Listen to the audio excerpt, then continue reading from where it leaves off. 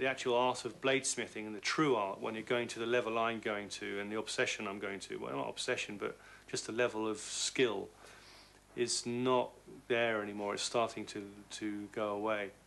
Um, because it takes time. You know, it's taken me eight years of trial and error to get where I am now.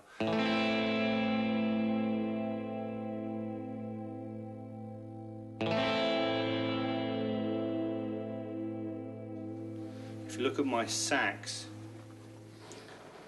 if you ignore the shark's tooth, you can begin to see how beautiful these blades would have been in their heyday. When you look at these swords, you have to look through the rust and the decay and try and imagine it when it was first made.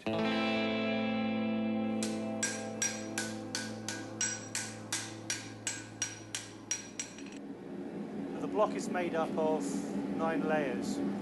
This, this, this, this, and this. It's a high carbon tool steel. This layer, this layer, this layer, this layer is a high nickel steel. So when this is welded together and is one unit, it'll have a black, white, black, white, black, white, black, white, black lining in it. So you'll have nine layers. This will be drawn out till it's 12 millimeter square. And then you'll see the nine layers inherently in the steel. It'll be there for the rest of time. Just you're working in a blacked out room. The reason for that is I can see the colour of the steel to very high degree of accuracy. If you try and weld the steel in broad daylight, you can overheat your steel by 100, 200 degrees, and that can ruin the matrix of the steel. Stand by, welding. It was always this thing in the back of my head saying, be a bladesmith, be a bladesmith, be a bladesmith.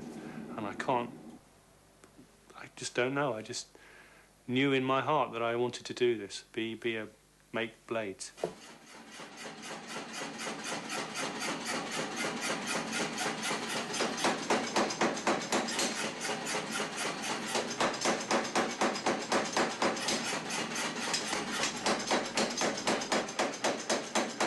I can remember when I first saw the Arms and Armour and the Royal Armoury at the age of five. That was the moment when I went there and saw this stuff. I just knew I was wanted to do this. And then the fact that my family were also involved in it. They were blacksmiths, they weren't bladesmiths. There's different, different training, different type of skill. But I think that the defining moment was when I saw it for the first time, when I decided that this is what I was going to do. Stand by, borax.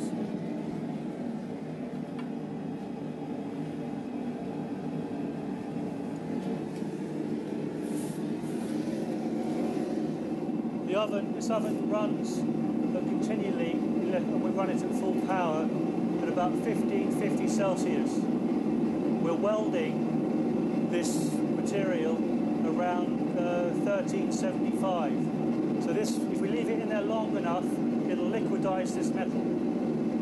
So it's best to have a furnace which is running really hot, then you can control the heat levels. And it's just by eye. To look at the colour of the metal, at a certain temperature, I know that it's ready for welding. I tend to weld a little bit hotter than most people, and I don't get so many flaws. I can't stand a lot of heat when I'm um, out on holiday and it's 34 degrees. I'm in the shade, but I'll go into the forge and it'll go to 80 degrees, and um, I won't bother me. I'll keep working and keep working, and even though I'm wet through, I've learned through my training in Japan where it was unbelievably hot, and I was hospitalised by heat exhaustion because when I start work, you'll have to kill me to stop. Stand by. Welding.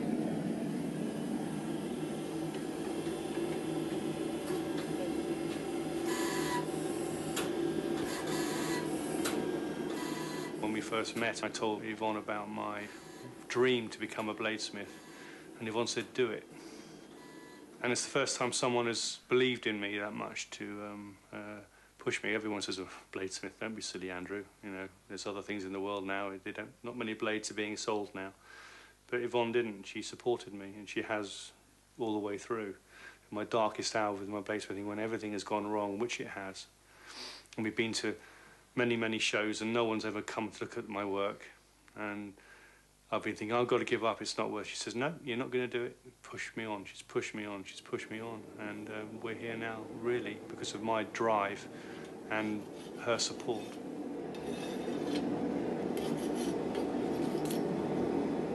That's it. Six bars. There is uh, nine layers. If you look at them very carefully, you'll see a dark grey and a lighter grey line. One, two, three, four, five, six, seven, eight, and on the top, nine. This will create our pattern.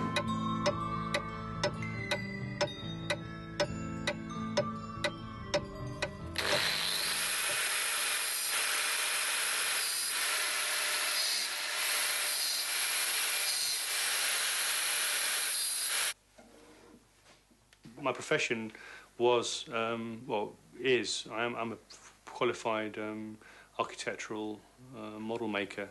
Doing that really helped me because it allowed me to get the fine hand skills. So when I make my blades now, I apply a high amount of skill to it. I don't use too many machines. It's mostly done by hand.